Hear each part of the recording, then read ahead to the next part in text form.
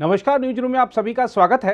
उत्तर प्रदेश विधानसभा चुनाव से पहले कांग्रेस को लग सकता है बड़ा झटका, क्योंकि उसके वरिष्ठ नेता सलमान खुर्शीद ने हिंदुत्व पर किया है तगड़ा प्रहार।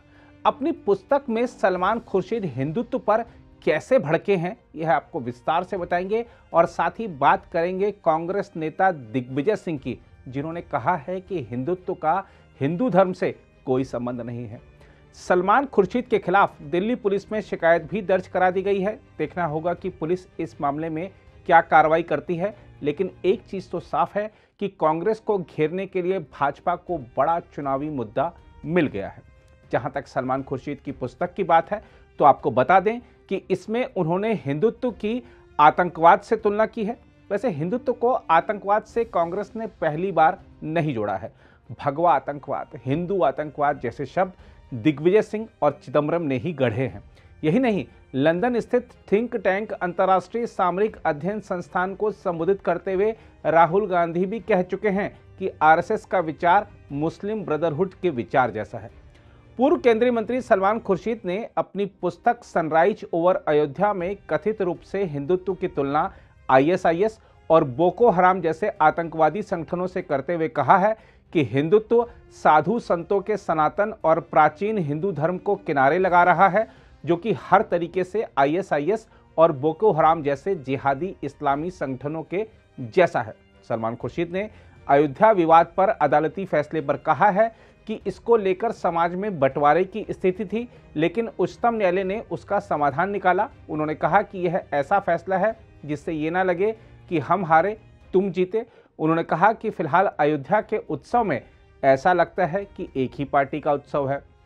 इस पुस्तक के विमोचन कार्यक्रम को संबोधित करते हुए कांग्रेस के वरिष्ठ नेता दिग्विजय सिंह ने राष्ट्रीय स्वयंसेवक संघ और भारतीय जनता पार्टी पर तीखा प्रहार करते हुए कहा कि देश में हिंदू खतरे में नहीं है, बल्कि फूट डालो और राज करो की मानसिकता खतरे में है।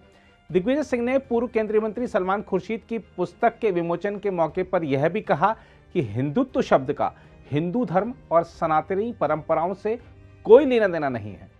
अयोध्या की फैजाबाद की अदालत में भूमि का विवाद था। लेकिन विश्व हिंदू परिषद और बजरंग दल और आरएसएस ने कभी इसको मुद्दा नहीं बनाया था।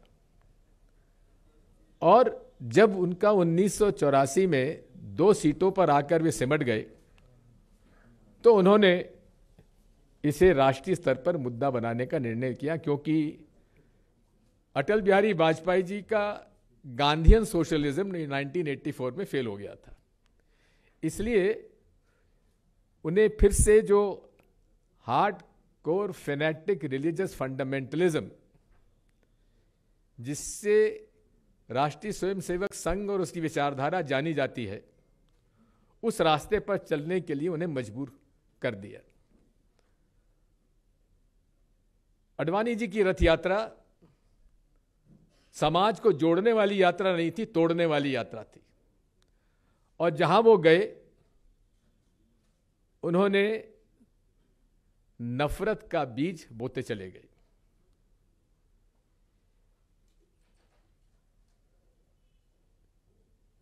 धार्मिक उन्माद विचारधारा का जीन जब तक बोतल में बंद रहता है, तब तक शांति रहती है।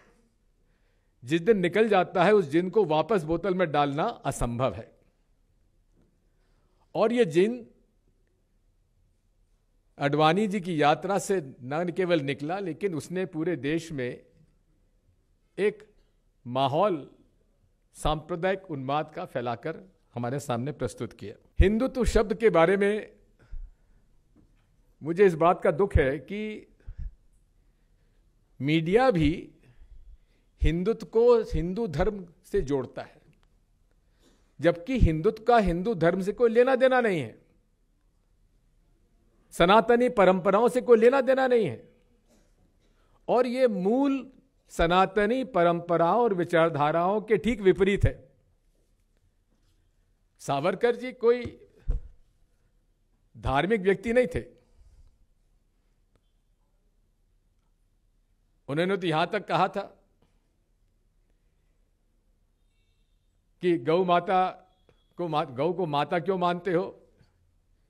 और उन्हें कहीं एतराज़ नहीं था गौ मांस खाने के लिए भी? तो सावरकर जी को जिन्होंने कि हिंदुत्व को हिंदू आइडेंटिटी को इस्टेब्लिश करने के लिए उन्होंने हिंदुत्व का शब्द वे लाए और उसके कारण लोगों में भ्रम फैल गया जिसे कि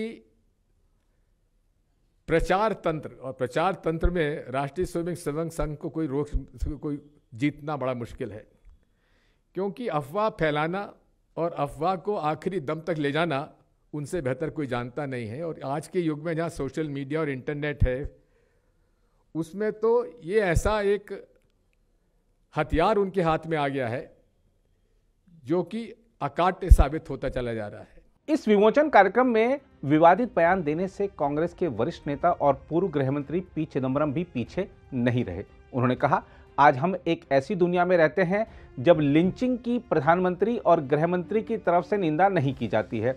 उन्होंने कहा, एक विज्ञापन को वापस लिया जाता है क्योंकि हिंदू बहू को एक मुस्लिम परिवार में खुशी से रहता हुआ दिखाया गया। यही नहीं, अयोध्या मामले पर उच्चतम न्यायालय के फैसले पर एक तरह से सवाल उठाते हुए उन्होंने कहा इस फैसले का कानूनी आधार बहुत संकीर्ण है, बहुत पतली सी रेखा है, लेकिन समय बीतने के साथ ही दोनों पक्षों ने इसे स्वीकार किया। उन्होंने कहा, दोनों पक्षों ने स्वीकार किया, इसलिए यह सही फैसला है।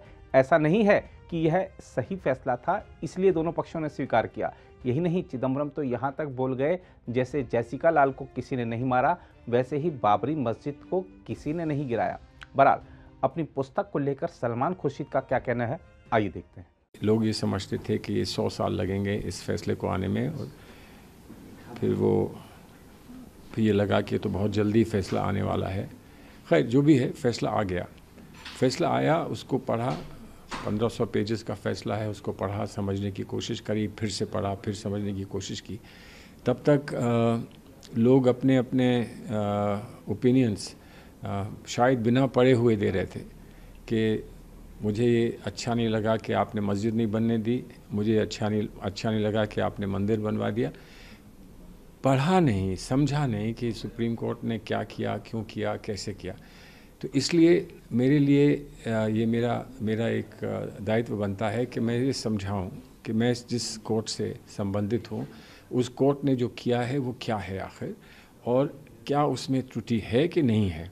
और मैंने माना कि ये अच्छा फैसला है, एक बहुत अच्छा जजमेंट है। और आज के हालात हमारे जो, हमारे देश में हैं, उनमें मरहम लगाने का एक एक रास्ता है। उन पर मरहम लगे और ऐसी बात फिर ना हो, इसका एक प्रयास है।